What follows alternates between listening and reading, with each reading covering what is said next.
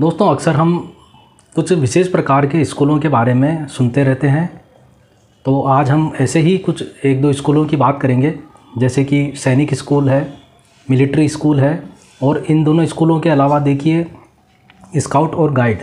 इसके बारे में भी आपके मन में काफ़ी प्रश्न आते होंगे, और आज हम इन्हीं सभी के बारे में चर्चा करेंगे। तो चलिए, सबसे पहले हम सैनिक स्कूलों की बात करते हैं। देखिए, सेना जो हमारी भारतीय सेना है इसका जो अधिकारी संवर्ग होता है, उसमें अलग अलग क्षेत्रों के अलग अलग वर्गों के लोग होते हैं, जो अधिकारी होते हैं, और उन अधिकारियों में क्षेत्रीयता या वर्ग की जो भावना है, उस भावना को समाप्त करने के उद्देश्य से सैनिक स्कूलों की स्थापना की गई।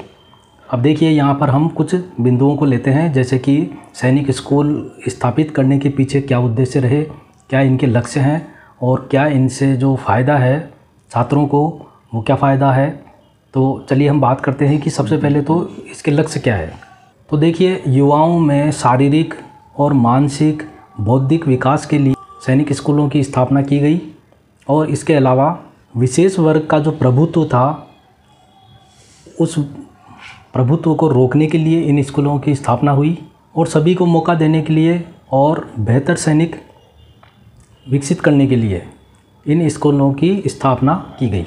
देखिए दोस्तों, आम आदमी की पहुँच पब्लिक स्कूलों तक बढ़ाने के लिए और साथ ही सैन्य बल तक पहुँच बढ़ाने के लिए इन स्कूलों की स्थापना की गई और ये जो स्कूल है, ये रक्षा मंत्रालय के अधीन कार्य करते हैं और यहाँ पर जो छात्र छात्राएँ अध्ययन करते हैं, उनको हम कैडेट कहते हैं और इन स्कूलों से जब छात्र बारहवीं उत्तीर्ण हो जाता है तो उसे एनसीसी का बी सर्टिफिकेट भी प्रदान किया जाता है। जो कि उसके भावी जीवन में काफ़ी महत्वपूर्ण होता है। कई अच्छे अच्छे नौकरियों के लिए अच्छे अच्छे पदों पर पहुँचने के लिए वहाँ पर लाभदायक सिद्ध होता है। देखिए, बात करते हैं इसके जनक की। सैनिक स्कूलों की जो स्थापना हुई, वो तत्कालीन रक्षा मंत्री वी के कृष्ण मेनन उनके द्वारा इन स्कूलों की स्थापना की गई और ये स्कूल रक्षा मंत्रालय की सैनिक स्कूल सोसाइटी है, उसके द्वारा संचालित किए जाते हैं। देखिए, बात करते हैं कि सबसे पहला सैनिक स्कूल हमारे देश में कहाँ और कब स्थापित किया गया। तो देखिए 1960 में लखनऊ में प्रथम सैनिक स्कूल स्थापित किया गया और उसके बाद में 1961 में राजस्थान के चित्तौड़ में सैनिक स्कूल स्थापित हुआ। और ये लखनऊ का जो सैनिक स्कूल है, यहाँ पर पहली बार छात्राओं को, बालिकाओं को मौका दिया गया इन स्कूलों में एडमिशन के लिए। और लखनऊ का यह सैनिक स्कूल रक्षा मंत्रालय के अंडर काम नहीं करता है, वो राज्य सरकार के अधीन काम करता है। बात करते हैं इसमें प्रवेश को लेकर तो देखिए इसमें प्रवेश जो है, वो सिक्स क्लास से प्रारंभ होता है और देखिए बाद में जब छात्र छात्राएँ जब यहाँ से उत्तीर्ण होते हैं तो एनडीए की जब सर्विस अगर वो करना चाहें तो वहाँ पर वहाँ पर उनका कोई साक्षात्कार नहीं होता। इंटरव्यू नहीं लिया जाता है, केवल परीक्षा के जो अंक हैं, उनके आधार पर वहाँ पर नौकरियों में इनको स्थान दिया जाता है। वर्तमान में देखिए, भारत में 27 सैनिक स्कूल संचालित हैं और राजस्थान में दो संचालित हैं, जिनमें से पहला है 1961 में स्थापित चित्तौड़ का सैनिक स्कूल और दूसरा है झुंझुनू में, जो कि 2018 में स्थापित किया गया। तो ये तो हो गई हमारे सैनिक स्कूलों की बात और अब हम बात करेंगे मिलिट्री स्कूल के बारे में। भारत में रक्षा कर्मी जो है उनके बालकों के लिए गुणवत्ता परक शिक्षा उपलब्ध करवाने के उद्देश्य से भारत में मिलिट्री स्कूलों की स्थापना की गई।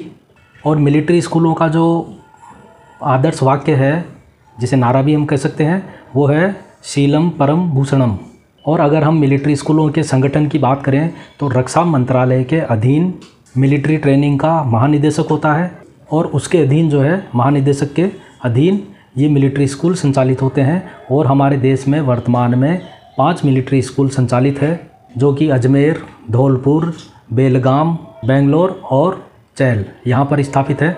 बात करते हैं इसकी स्थापना के बारे में। सबसे पहले मिलिट्री स्कूल भारत में उन्नीस सौ बावन में स्थापित किया गया, लेकिन इसका जो नाम है, वो मिलिट्री स्कूल न हो करके और इसके जो संस्थापक थे, उनके नाम से यह स्कूल संचालित किया गया, स्थापित किया गया। और क्या नाम था मित्रों? George Royal Military School. और उन्नीस सौ चौवन में इसका नाम बदल करके इंडियन मिलिट्री स्कूल और उन्नीस सौ चौवन में इसका नाम बदल करके इंडियन पब्लिक स्कूल कॉन्फ्रेंस के सदस्य इसमें जोड़ा गया और 1966 में इसका नाम फिर बदला गया और मिलिट्री स्कूल किया गया और उसके बाद में अंतिम बार 2007 में राष्ट्रीय मिलिट्री स्कूल यह नाम किया गया। ये हो गया हमारा मिलिट्री स्कूल और अब हम बात करेंगे और अब हम बात करेंगे स्काउट एंड गाइड के बारे में। नवयुवकों का सर्वांगीण विकास करने के उद्देश्य से, अर्थात मानसिक विकास, शारीरिक विकास, धार्मिक विकास, सामाजिक और बौद्धिक विकास, इसके उद्देश्य से भारत में स्काउट एंड गाइड की शुरुआत की गई। अर्थात हम यह कह सकते हैं कि भारत में जिम्मेदार नागरिक तैयार करने के उद्देश्य से स्काउट एंड गाइड की शुरुआत की गई। और स्काउट एंड गाइड क्या है दोस्तों? देखिए, एक एक आंदोलन हम इसे कह सकते हैं, जो कि नवयुवकों के द्वारा स्वयंसेवी और इसके अलावा गैर सरकारी और वर्दीधारी और शैक्षिक आंदोलन है, ठीक है? और अगर हम स्काउट और गाइड के इस शब्द की अगर हम अर्थ की तरफ़ ध्यान दें तो इसके कई अर्थ निकलते हैं। देखिए, जैसे गुप्तचर है, जासूस है, सेवक है, परोपकारी है, कई प्रकार से इसके अलग अलग अर्थों में इसको प्रयोग किया जाता है। स्काउट और गाइड किन सिद्धांतों पर काम करता है? बात करते हैं इसके बारे में। देखिए, तीन सिद्धांतों पर स्काउट और गाइड कार्य करता है। पहला है ईश्वर के प्रति कर्तव्य पालन। दूसरा है दूसरों के प्रति कर्तव्य पालन। और तीसरा है स्वयं के प्रति कर्तव्य पालन। इन तीन सिद्धांतों पर स्काउट और गाइड कार्य करता है। और बेडन पॉवेल, उन्होंने इसके जो उद्देश्य बताए हैं, स्काउट और गाइड के, वो कुल मिलाकर के पाँच उद्देश्य बताए हैं। चरित्र निर्माण समाज सेवा स्वास्थ्य, हस्तकौशल और धार्मिकता। और देखिए, स्काउट और गाइड की जो प्रार्थना होती है, वो हमने भी बचपन में, हमारी स्कूल में वो प्रार्थना कई बार गाई है, दया कर दान भक्ति का। ये जो प्रार्थना है, स्काउट और गाइड की प्रार्थना है। और स्काउट और गाइड का जो गीत है, वो है, झंडा ऊँचा सदा रहेगा। अब बात करते हैं कि भारत में स्काउट और गाइड का प्रारंभ या शुरुआत कैसे हुई। तो देखिए 1907 में लॉर्ड बेडन पॉवेल द्वारा स्काउट गाइड की शुरुआत भारत में की गई, जो कि बालकों के लिए थी। और उसके बाद में 1909 में लेडी बेडन पोवेल द्वारा बालिकाओं के लिए गाइड की स्थापना की गई। और देखिए, ये कहाँ पर शुरुआत की गई?